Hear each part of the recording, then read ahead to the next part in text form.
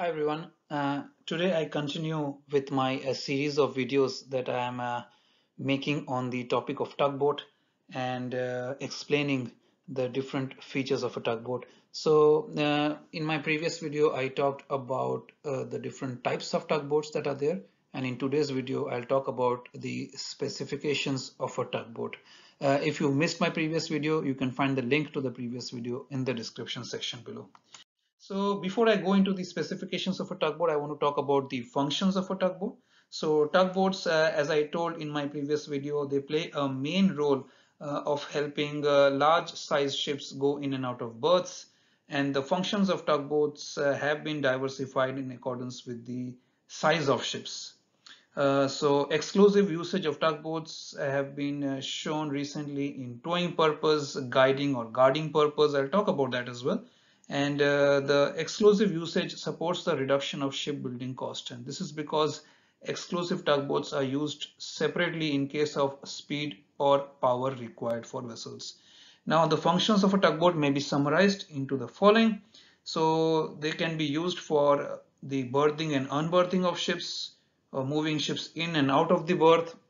Uh, they can be used for uh, guiding the ships, especially in case of dangerous cargo such as uh, liquid nat natural gas, uh, LNG and uh, LPG. So they can be used for uh, specific purposes. They can stand by during dangerous operations, during the loading of dangerous cargo. Uh, in case there's any fire, they may be used uh, handy for firefighting purposes. They can be used for docking purposes, docking the vessels into dry docks or into shipyards they can be used for uh, emergency towing operation or salvaging or towing a wrecked ship. Uh, they can be used if uh, let's say the ship is supposed to unberth and the engines are not working and the ship needs to move out of the berth then they can be used for that purpose. They can be used for uh, towing operations in emergencies such as uh, um, uh, vessel having a rudder breakdown um, and not being able to steer then they can be used for anchor handling purposes they can be used for uh, guarding ships during loading and unloading activity. So a meaning of that could be that there could be certain cargo operations such as uh, loading of heavy lifts cargoes which may provide uh, undue list uh, or create other complications uh, which may require some kind of assistance from externally so that is also when tugboats are, can be used. All right, so these are the different functions of a tugboats. If I have missed any, feel free to mention it in the comment section. The idea behind this is we can all learn from one another.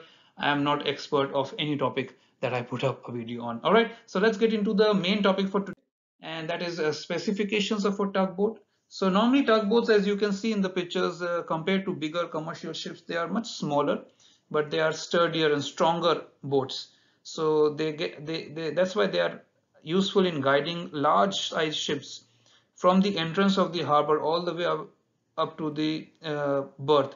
That could include transits through rivers narrow canals or even seaports. Now when the ship is again ready to unberth they are again used to uh, unberth them and guide them back into the sea outside the harbor limits now this kind of work that the tugboats do is especially important if the let's say you have a river passage like if you go to ports like Shanghai uh, they have long river passages. Many ports in China do have long river passages. They are busy a lot of ships coming in and going out. Uh, or if the river has uh, strong currents or uh, tricky tides then tugboats are also helpful uh, in pushing boats in trouble to safety. Tugboats also help when work is being done in the harbor or along the river they may tow barges or other equipment into place or later help move equipment as required. Tugboats, as you can see, they range in size from about 70 to 210 feet in length. Uh, many tugboats are made of wood or metal sheathed wood.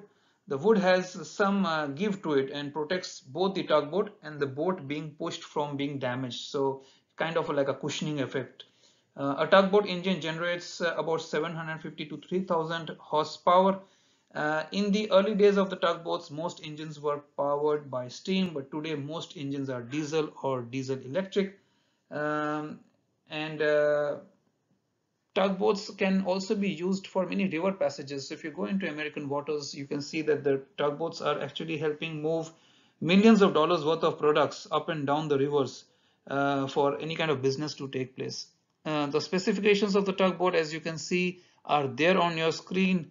Uh, make yourselves familiar right from the top where you start with the range lights, the radar scanner, the radio antenna, which can be found on commercial ships as well. Then you have searchlights, whistle lights, you have the pilot house, the loudspeaker, the capstan on the poop deck, you have the uh, bow rake, bitts, headlock, toney, deck button, upper deck, main deck, engine room, stern lights. So many of these terms you will be uh, very familiar with because uh, these terms are also used on big commercial vessels.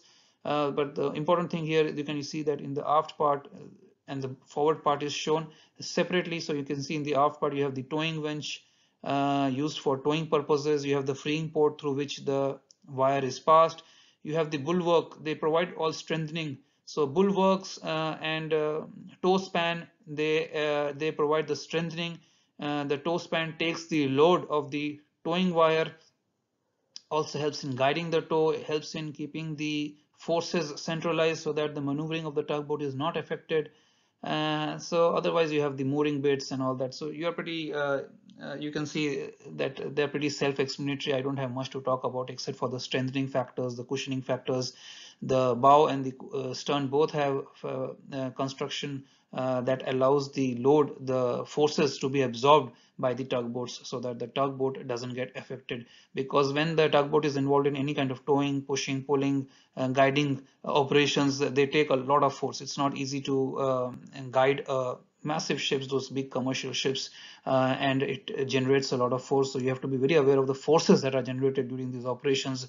Only authorized person should be around these areas because if something goes wrong it can lead to catastrophic accidents.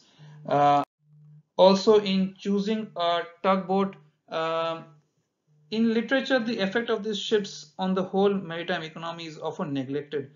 Uh, but in fact their value, values of paramount importance in maneuvering during bad weather conditions in limited areas of ports uh, each port has its own particular features which determine the way the tugs are used. So normally uh, the following conditions are crucial when uh, the tugs are being chosen and used. So firstly, the volume of uh, traffic in the ports and the types of ships serving the port and navigational obstacles found in the port, uh, conditions of environmental protection, uh, local laws and habits, available sizes and type of tugs, and experience of crew serving them. Uh, so that is pretty much um, uh, all about tugs uh, in this second video. I'll put up more videos on tugboats um, because these are some different type of vessels uh, but these days seafarers are commonly finding job on them and uh, again I know they are not providing detailed information but they provide uh, some information for you to just prepare maybe for a job interview or just to make yourselves familiar before you go on tugboats uh, there are simulator courses available, of course, specifically for tugboat operations, and you can do them. Uh, let me know uh, whether uh, these use videos are being useful or not. I, I, look forward to your feedback, even though it may be critical, it may be um, you may like to suggest some ways to improve these videos. All right, so thanks for watching guys. All the best for your studies and see you soon with my next video. Bye for now.